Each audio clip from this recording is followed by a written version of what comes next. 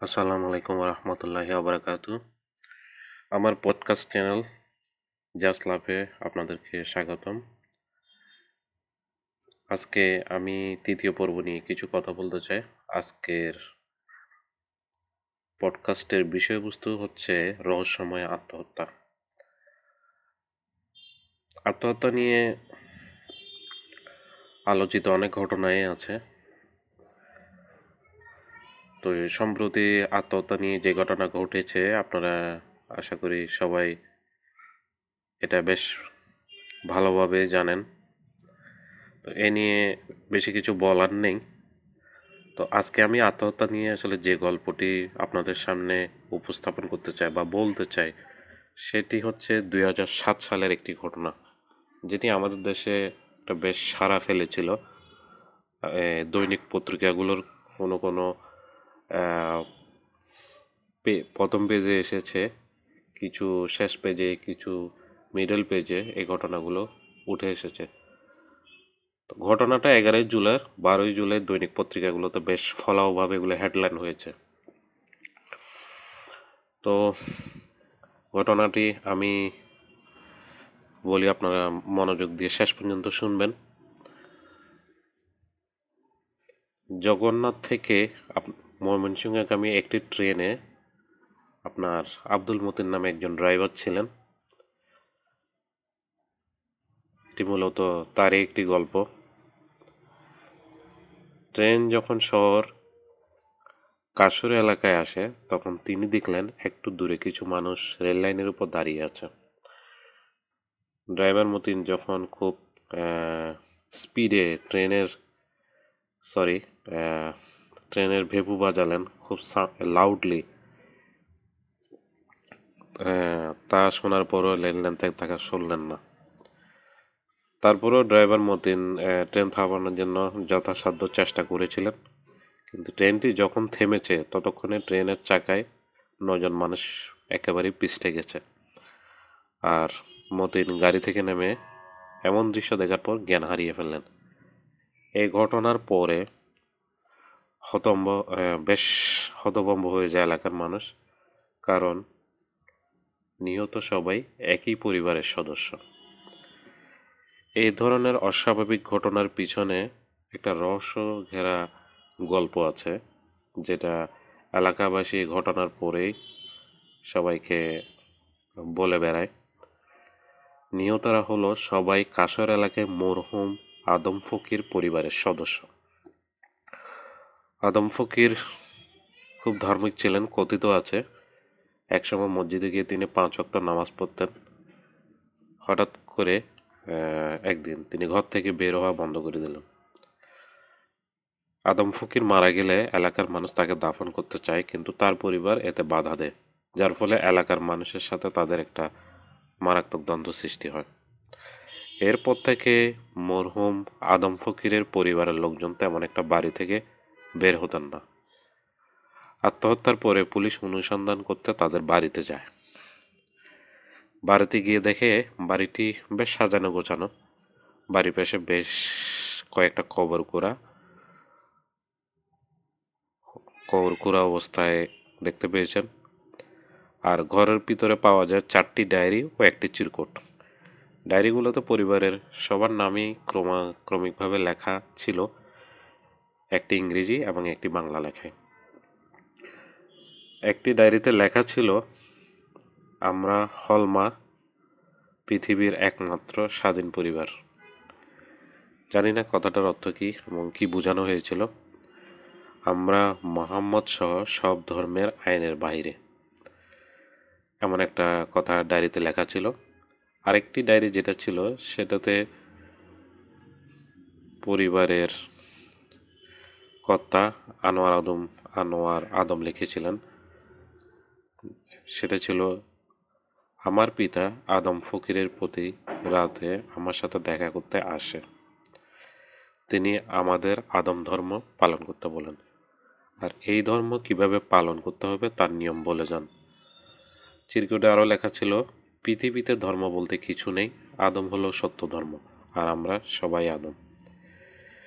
এই ধরনের ঘটনার কয়েক বছর কেটে গেল, আজও এর কোনো রহস্যর কুল কিনারা হয়নি। মনোবিজ্ঞানীদের একটি ধারণা ছিল, ওই পরিবারের সবাই হ্যালোসিনেশন রোগে আক্রান্ত।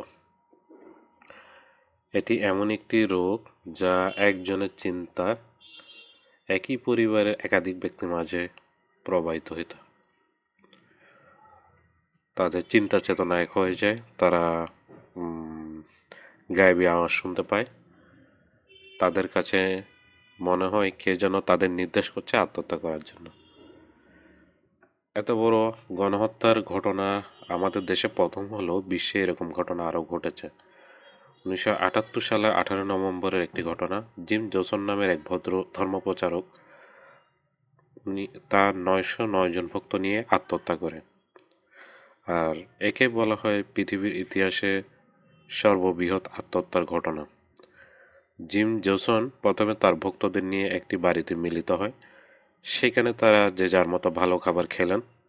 পরে ছাদের উপরে গিয়ে বিষ খেয়ে সবাই একসাথে আত্মহত্যা করলেন।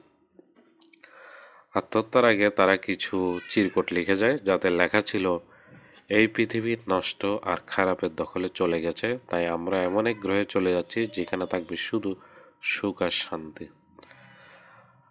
এ হলো রহস্যময় আত্মহত্যার গল্পের একটি সারসংক্ষেপ। আত্মহত্যা নিয়ে আমি ব্যক্তিগতভাবে কোনো কিছুই বলতে চাই না, শুধু এতটুকুই বলতে চাই, আমরা যারা ইসলাম ধর্মের অনুসারী, ইসলাম ধর্ম সম্পর্কে ভালো জানি, ভালো ভালোভাবে স্টাডি করেছি, আত্মহত্যা কোনো সমাধান নয়। কারণ আপনি যখন নিজেকে নিজে খুন করবেন, মৃত্যুর পরবর্তী যেটাকে আমরা পরকাল হিসেবে জানি, সেখানে আল্লাহ তালা আমাদের এই যে আত্মহত্যা যেভাবে আমরা নিজেকেই হত্যা করি না কেন, ঠিক একইভাবে আমাদেরকে হত্যা করতে বলা হবে শেষ বিচারের দিন, যেটাকে আমরা কিয়ামত হিসেবেই জানি। আর পৃথিবীর বড় বড় মনোবিজ্ঞানী বলেন এবং যারা আত্মহত্যা নিয়ে গবেষণা করে, তারা কিন্তু সবাই একটি পয়েন্টে মিলিত হয়েছে যে suicide is not is a solution is kinda disease অর্থাৎ আত্মহত্যা কোনোভাবেই কোনো সমাধান নয়, এটি বরং আপনার আত্মার কষ্টের একটা প্রকার ও গভীরতা সৃষ্টি করে। তো এর বাইরে আত্মহত্যা নিয়ে সম্প্রতি যে ঘটনাই ঘটেছে, যেটা আমি শুরুতে আপনাদেরকে বলেছি, সেটা হচ্ছে চিত্রনায়ক রিয়াজের শ্বশুর। যিনি বেশ কষ্ট পেয়ে মনে বড় ব্যথা নিয়ে যে কথাগুলো লাইভে এসে বলে সাথে সাথে আত্মহত্যা করলেন, সেটি আমার মনে হয় যাদের মধ্যে আত্মহত্যার প্রবণতাটা বেশি, পেট্রিস বেশি, এটা তাদেরকে ডিরেক্টলি একটা সাপোর্টিভ অনুপ্রেরণা হিসাবে কাজ করবে। তা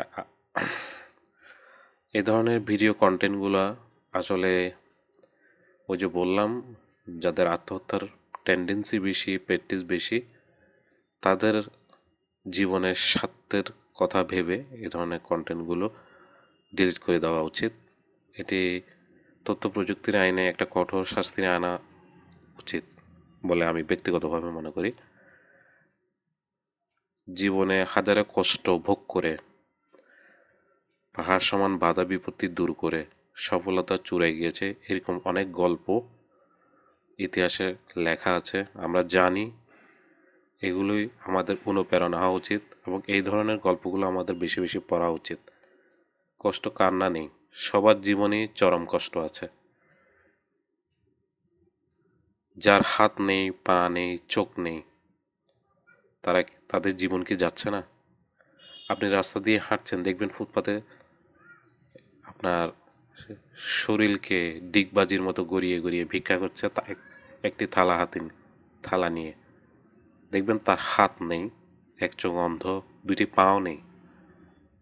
তো তাকে দেখলে আপনার কি বোঝা উচিত নয়? আপনি অনেকটাই ভালো আছেন। আপনার দুটি হাত আছে দুটি পা আছে, চোখ আছে, আপনি খেতে পাচ্ছেন, ঘুমানো পাচ্ছেন।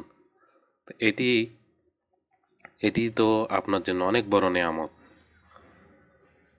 এটির জন্য তো আপনি আল্লাহর কাছে, সৃষ্টিকর্তার কাছে সুক্রিয়া করা উচিত। তো এই ধরনের নিজের অবস্থান থেকে যখন ওই যে যার হাত নেই, পা নেই, চোখ নেই, যখন এদের জীবনকে কাছ থেকে দেখবেন, তখন আপনার নিজেকে সৌভাগ্যবান মনে হবে। তখন মনে হবে হ্যাঁ আমি তো এর চেয়ে অনেক ভালো আছি। আমার কিসের কষ্ট? সে তো আমার চেয়ে তো কয়েক লক্ষ গুণ বেশি কষ্টে আছে। সে তো আত্মহত্যা করছে না। আমি কেন আত্মহত্যা করছি? যাই হোক, আমার অডিও পডকাস্টের তৃতীয় পর্বে আমি আসলে অপ্রাসঙ্গিক অনেক কথাই বলেছি। অডিওটি ভালো লাগলে সবাইকে শেয়ার করবেন। আর আমার পরবর্তী এপিসোডে শোনার জন্য আপনাদেরকে আমন্ত্রণ রইল। ততক্ষণে আমার চ্যানেলটি আপনি সাবস্ক্রাইব করে শেয়ার করে দিন। তো সবাইকে ধন্যবাদ কষ্ট করে আমার অডিও পডকাস্টটি শোনার জন্য। আল্লাহ হাফেজ।